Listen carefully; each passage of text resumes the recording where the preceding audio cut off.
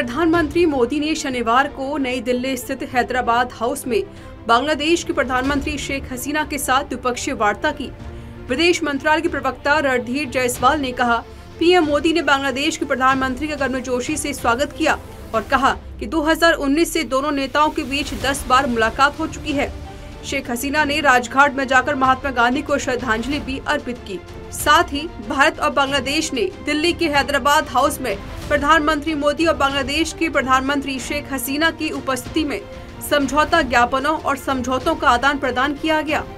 वहीं पीएम मोदी ने क्या कुछ कहा, आप भी सुनिए। मैं प्रधानमंत्री शेख हसीना जी का और उनके प्रतिनिधि मंडल का हार्दिक स्वागत करता हूँ।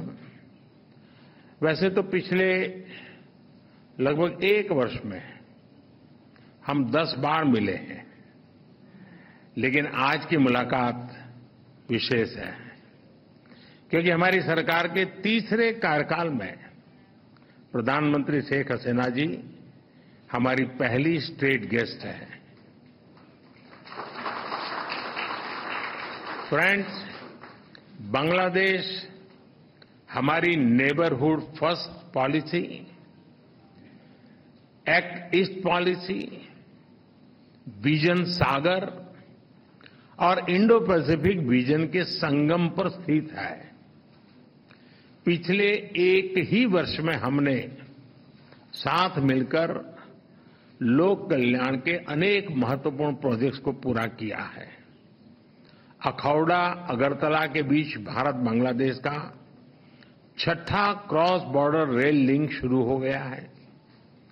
खुलना मोंगला पोर्ट द्वारा भारत के उत्तर पूर्वी राज्यों के लिए कार्गो सुविधा शुरू की गई है। मोंगला पोर्ट को पहली बार रेल से जोड़ा गया है। 1320 मेगावाट मैत्री थर्मल पावर प्लांट के दोनों यूनिट्स ने बिजली उत्पादन शुरू कर दिया है।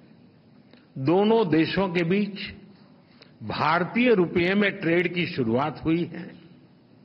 भारत बांग्लादेश के बीच गंगा नदी पर दुनिया की सबसे लंबी रिवर क्रूज को सफलतापूर्वक पूरा किया गया है।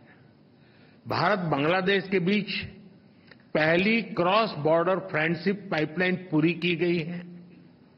भारतीय ग्रिड से होते हुए नेपाल से बांग्लादेश तक बिजली निर्यात, ऊर्जा क्षेत्र में सब रीजनल सहयोग का पहला उदाहरण बना है। एक ही वर्ष में इतने सारे एरियाज़ में इतने बड़े इनिशिएटिव्स को ज़मीन पर उतारना हमारे संबंधों के स्पीड और स्केल को दर्शाता है। इसके साथ ही बांग्लादेश के प्रधानमंत्री शेख हसीना ने क्या कुछ कहा है आइए सुनते हैं to the media.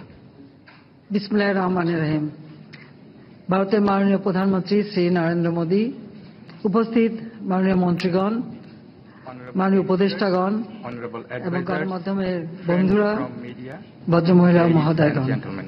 আসসালামু আলাইকুম নমস্কার Assalamualaikum, Shubho অপরাহ্ন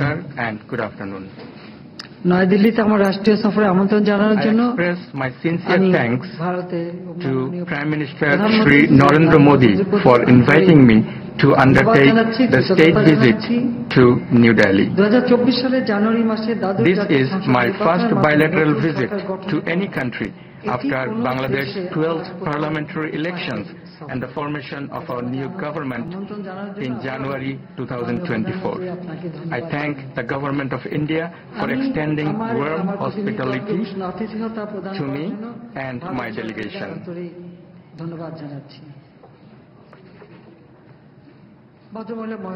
Ladies and gentlemen,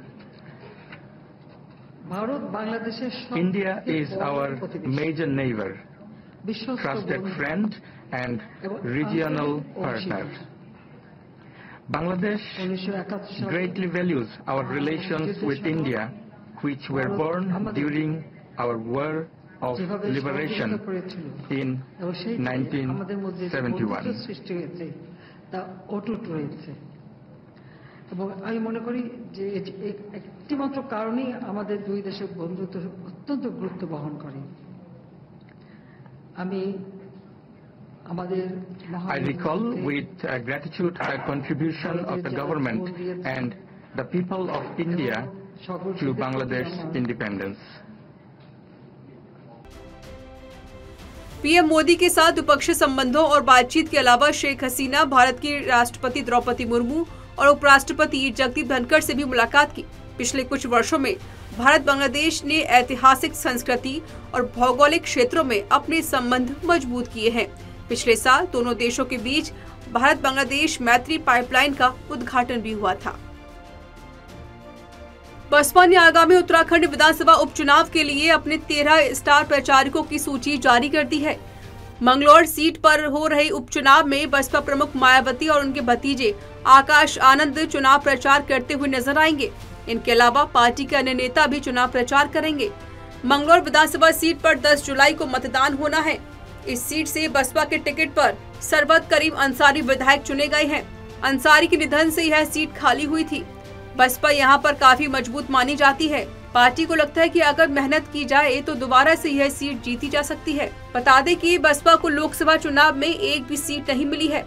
चुनाव के दौरान पूर्व मुख्यमंत्री मायावती ने अपने भतीजे आकाश आनंद को अपने उत्तराधिकार और पार्टी के नेशनल कोऑर्डिनेटर की जिम्मेदारियों से मुक्त कर दिया था। बसपा प्रमुख ने पिछले वर्ष दिसंबर माह में आकाश आनंद को अपना उत्तराधिकारी घोषित किया था। उन्हें हटाने का यह आश्चर्यजनक फैसला उस वक्त आया, जब देश में लोकसभा चुनाव के तीसरे चरण के लिए मतदान संपन्न हो गया था। देश 2024-25 में केंद्रीय बजट का इंतज़ार कर रहा है। ऐसे में सरकार उस दिशा में तैयारी कर रही है। केंद्रीय वित्त मंत्री निर्मला सीतारमण ने शनिवार को बजट पूर्ण बैठक की अध्यक्षता की। उन्होंने सभी राज्यों और केंद्र शासित प्रदेशों के वित्त मंत्रियों के साथ बैठक की। आगामी केंद्रीय बजट 2024-25 के लिए विधानमंडल सहित सभी राज्यों और केंद्र शासित प्रदेशों के वित्त मंत्रियों से सुझाव लेने के लिए वित्त और कॉरपोरेट मामलों के मंत्रालय द्वारा इस प्री बजट बैठक का आयोजन किया गया था। आगामी केंद्रीय बजट 2024-25 के लिए सभी राज्यों और केंद्र शासित प्रदेशों के वित्त मंत्रियों से सुझाव के लिए वित्त और कॉरपोरेट मामलों के मंत्रालय द्वारा यह बजट पूर्व बैठक आयोजित की गई थी। भारत मंडपम में आयोजित इस बैठक में राजस्थान से दिया कुमारी और यूपी से सुरेश कुमार खन्ना सहित अन्य राज्यों के वित्त मंत्री शामिल हुए। वहीं राजस्थान की डिप्टी सीएम दिया कुमारी ने कहा, आज केंद्रीय वित्त मंत्री के साथ बैठक हुई। राजस्थान की ओर से जो भी मांग है, उसे इस बैठक में रखा गया है। डबल इंजन की सरकार है और हम एक ऐसा काम करें जो राजस्थान के लोगों की अपेक्षाओं पर खरा उतरे। लोगों की मांग पर हमारा ध्यान केंद्रित है। जी, बिल्कुल। आज हमारी केंद्रीय वित्त मंत्री श्री, श्रीमती निर्मला सीतारमन जी ने सभी स्टेट्स के फाइनेंस मिनिस्टर्स को बुलाकर प्री बजट मीटिंग ली है, सुझाव लिए हैं। और उसमें राजस्थान की तरफ़ से मुझे भी मौका मिला है कि राजस्थान की जो हमारी डिमांड्स हैं, जो मांगे हैं, उनको यहाँ रखा जाए। और बिल्कुल मैंने आज अपनी जो जितनी भी राजस्थान की बड़ी बड़ी मांगे हैं उनको यहाँ पर रखा। मैम जीएसटी काउंसिल की भी मीटिंग होने वाली है। उसमें क्या एजेंडा आपका रहेगा? नहीं एजेंडा तो अभी मीटिंग होगी उसमें रखा जाएगा। लेकिन देखिए, अभी डबल इंजन की सरकार बन चुकी है राजस्थान में। लोगों की अपेक्षाएँ भी बहुत है और पूरा प्रयास रहेगा कि केंद्र में मोदी जी की सरकार और राजस्थान में भजनलाल जी के नेतृत्व में हम मिलकर एक ऐसा काम करे जो मुझे लगता है कि राजस्थान के लोगों की अपेक्षाओं पे भी खरे उतरे और जो कि इतने वर्षों से, पाँच वर्षों से जो जिस तरह से विकास से दूर रखा गया है, विकास के कोई काम नहीं हुए राजस्थान में, वो सारे काम हम लोग करवाएँ भी और दोबारा से एक एक अच्छी सरकार बने जो विकास भी करे। लोगों के लिए जो भी लोगों के, जो मांगे हैं, लोगों के काम हैं, उस पर भी हम लोग पूरी तरह से ध्यान दें। तो वही हमारा फोकस रहा। आंध्र प्रदेश के पूर्व मुख्यमंत्री वाई एस जगन मोहन रेड्डी की party Y S R C P का ऑफ़िस आज विजयवाड़ा के ताड़ेपल्ली शहर में ध्वस्त कर दिया गया। वाईएसआरसीपी ने मुख्यमंत्री चंद्रबाबू नायडू की पार्टी तेलुगु देशम पार्टी पर बदले की राजनीति करने का आरोप लगाया है। वाईएसआरसीपी ने आरोप लगाया कि डिमोलिशन तब भी जारी रहा, जब पार्टी ने आंध्र प्रदेश राजधानी क्षेत्र विकास प्राधिकरण की प्रिलिमिनरी एक्शन की कार्रवाई को चुनौती देते हुए हाईकोर्ट का दरवाज़ा खटखटाया था। हाईकोर्ट ने सभी प्रकार की विध्वंस गतिविधियों पर रोक लगाने के आदेश दिए थे। जगन मोहन रेड्डी ने चंद्रबाबू नायडू पर आरोप लगाते हुए कहा, उन्होंने आंध्र प्रदेश में कांड को एक अलग ही स्तर पर पहुँचा दिया है। नायडू को तानाशाह बताते हुए रेड्डी ने एक्स पर कहा कि वाईएसआरसीपी पार्टी का केंद्रीय कार्यालय ताड़ेपल्ली में लगभग बनकर तैयार हो चुका था, जिसे उन्होंने बुलडोजर से गिरा दिया। इन दिनों देश में नीट पेपर में धांधली को लेकर बवाल मचा हुआ है। राजनीतिक पार्टियाँ समेत सैकड़ों छात्र सड़कों पर प्रदर्शन कर रहे हैं और इस मामले में अपनी मांग को उठा रहे हैं। तो वही केंद्र सरकार ने अब इस पर नया कानून बनाया है, जो न सिर्फ़ ऐसी परीक्षाओं में फर्जीवाड़े को रोकेगा, बल्कि जो भी व्यक्ति या समूह इसमें शामिल होगा, उसको 10 साल तक जेल और एक करोड़ रुपए का जुर्माना लगाया जा सकता है। नीट, यूजी और यूजीसी नेट परीक्षा में हुई गड़बड़ियों के बाद चल रही जाँच और सुनवाई के बीच देश में एंटी पेपर लीक कानून लागू हो गया है।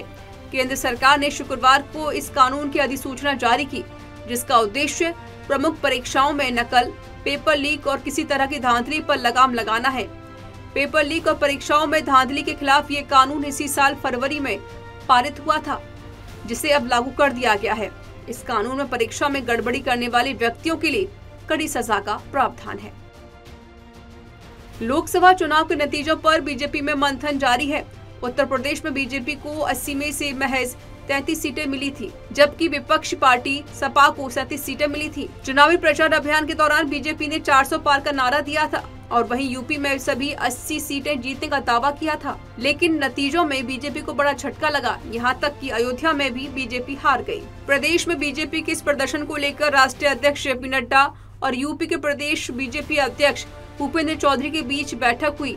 सूत्रों के मुताबिक इस बैठक में भूपेंद्र चौधरी ने खराब प्रदर्शन की नैतिक ज़िम्मेदारी ली है। बीजेपी राष्ट्रीय पदाधिकारियों की बैठक उनतीस या तीस जून को हो सकती है। पदाधिकारियों की इस बैठक में पूरे देश में राज्यवार लोकसभा चुनाव नतीजों पर चर्चा की जाएगी। वहीं सूत्रों के मुताबिक 25 जून तक यूपी में लोकसभा चुनाव परिणाम पर यूपी बीजेपी की समीक्षा रिपोर्ट तैयार हो जाएगी, जिसे दिल्ली में होने वाली राष्ट्रीय पदाधिकारियों की बैठक में रिपोर्ट रखी जाएगी।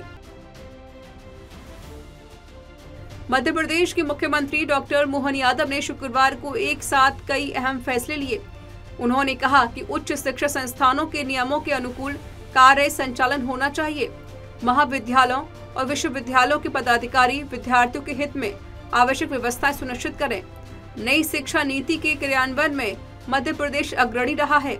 इस नाते निरंतर शिक्षा की गुणवत्ता और बेहतर प्रबंधन पर ध्यान देना ज़रूरी है। मेट्रो संचालन प्रारंभ किया गया था इंदौर, भोपाल में। ये समूचे योजनाओं को लेकर के विभाग के अधिकारियों के साथ माननीय वरिष्ठ मंत्री श्री कैलाश विजयवर्गीय, राज्य मंत्री हमारी डॉक्टर प्रतिमा बागरी और अन्य अधिकारियों के साथ में मीटिंग में सम्मिलित हुआ। और अभी तक के मेट्रो प्रोजेक्ट के बारे में, जो किए गए कामों के बारे में, मेट्रो की मंजूरी से लेकर अभी तक की गई प्रगति के बारे में सब अवगत होने के बाद आगामी दृष्टि से भी कुछ निर्णय किए हैं। एक फिजिबिलिटी रिपोर्ट आई है सिमस्त को लेकर के उज्जैन से इंदौर में भी मेट्रो डालना चाहिए। साथ ही साथ एक विचार, मेरे द्वारा भी दिया गया कि मेरी बीच में रेल मंत्री से चर्चा हुई थी। उनका कहना था कि मेट्रो का वंदे मेट्रो एक नया उनका ट्रेन का आकार बन रहा है, जिसके आधार पर जो मेट्रो ट्रेन संचालन पुराना है, उसके बजाय मेट्रो ट्रेन के बजाय वंदे मेट्रो भी सर्किल ट्रेन के माध्यम से यातायात की बड़ी सुविधा दी जा सकती है। साथ साथ अभी एक रोपवे अर्थात केबल कार का भी चलन बढ़ा है।